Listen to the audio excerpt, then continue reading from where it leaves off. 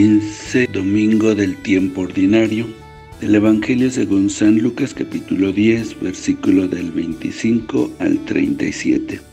En aquel tiempo se presentó ante Jesús un doctor de la ley para ponerlo a prueba y le preguntó, Maestro, ¿qué debo hacer para conseguir la vida eterna? Jesús le dijo, ¿qué es lo que está escrito en la ley? ¿Qué lees en ella?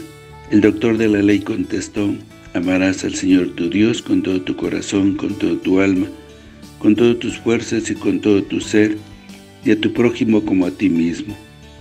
Jesús le dijo, has contestado bien, si haces eso vivirás. El doctor de la ley para justificarse le preguntó a Jesús, ¿y quién es mi prójimo? Jesús le dijo, un hombre que bajaba por el camino de Jerusalén a Jericó, cayó en manos de unos ladrones, los cuales lo robaron, lo hirieron y lo dejaron medio muerto. Sucedió que por el mismo camino bajaba un sacerdote, el cual lo vio y pasó de largo. De igual modo un levita que pasó por ahí, lo vio y siguió adelante. Pero un samaritano que iba de viaje, al verlo se compadeció de él, se le acercó, ungió sus heridas con aceite y vino y se las vendó. Luego lo puso sobre su cabalgadura lo llevó a un mesón y cuidó de él. Al día siguiente sacó dos denarios, se los dio al dueño del, mesón y le dijo, Cuida de él, lo que gastes de más te lo pagaré a mi regreso. ¿Cuál de estos tres te parece que se portó como el prójimo del hombre que fue asaltado por los ladrones? El doctor de la ley le respondió, el que tuvo compasión de él. Entonces Jesús le dijo, anda y haz tú lo mismo.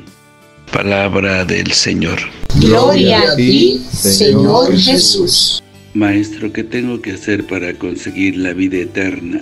Esta pregunta se lo hacen muchos. O cómo realizarse plenamente, cómo vivir de un modo plenamente humano y cristiano.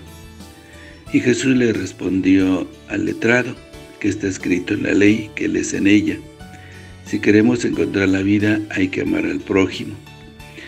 El amor al prójimo verifica la autenticidad de nuestro amor a Dios. Dice en la primera carta de Juan capítulo 4, Si alguno dice amo a Dios y aborrece a su hermano es un mentiroso, pues quien no ama a su hermano, a quien ve no puede amar a Dios, a quien no ve. La ley prescribía amar al prójimo como uno mismo. Por eso la primera condición para amar a los demás es amarse a sí mismo. El que no se ama a sí mismo no puede amar a nadie, tampoco a Dios. Pero, ¿qué es amarse a sí mismo? Es descubrirse como persona amada, libre y creador de sí mismo. El que no es capaz de amarse a sí mismo, tratará a los demás como objetos que se usan según su propia conveniencia. Si no descubrimos la alegría de vivir, este video ha llegado a ustedes gracias a Campusano Móvil, donde ofrecemos los servicios de desbloqueo, activación y reparación. Te activamos y reparamos el software de tu celular, tablet o computadora. Además, vendemos todo tipo de accesorios y recarga de todas las compañías. Vendemos tablets, celulares y computadoras. Estamos ubicados en la calle Sánchez número 10 en el ensanche Altagracia de Herrera. Teléfono 809-530-7327. Con su administrador, Jack Michael Campusano. Ir cuidando nuestro cuerpo y nuestro espíritu, pobre del prójimo al que amamos de la misma forma. El letrado sabía perfectamente que el amor a Dios y y al prójimo era la síntesis de la perfección de la vida plena. Jesús le valora la respuesta, pero le pide que lo cumpla. Has contestado bien, si haces eso vivirás. Pero amar al prójimo como uno mismo es hacerse al, prójimo todo el bien que, que queríamos para nosotros. El letrado ya sabía la respuesta, pero busca un pretexto, por eso pregunta ¿y quién es mi prójimo? El escriba quiere una receta, la lista de las personas las que puede considerar como prójimo. Amar al prójimo implica abolir las distancias que me separan de él. El que ama no elige al prójimo, se hace prójimo.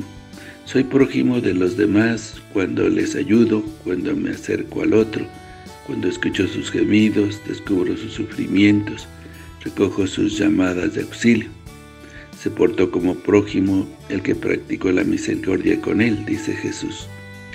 Para llegar a Dios, que es nuestra meta, necesitamos pararnos en el camino junto al prójimo. Ahí está Dios. El samaritano hizo prójimo suyo al judío que le odiaba y humillaba, pero que ahora estaba necesitado de ayuda para sobrevivir. ¿Cuál es la enseñanza? O vivimos el amor o nuestra religión es vana. El samaritano se encontró con Dios en el camino. No se trata de amar solo al que nos ama, eso lo hace cualquiera, un pagano.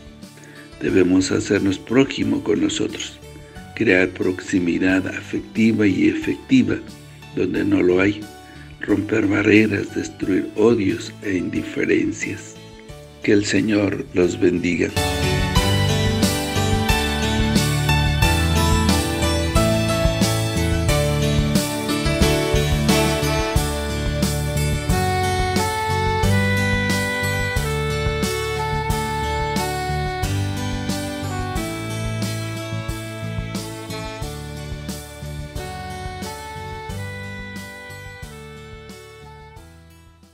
La bendición de Dios Todopoderoso, Padre, Hijo y Espíritu Santo, descienda sobre ustedes, que los acompañe siempre.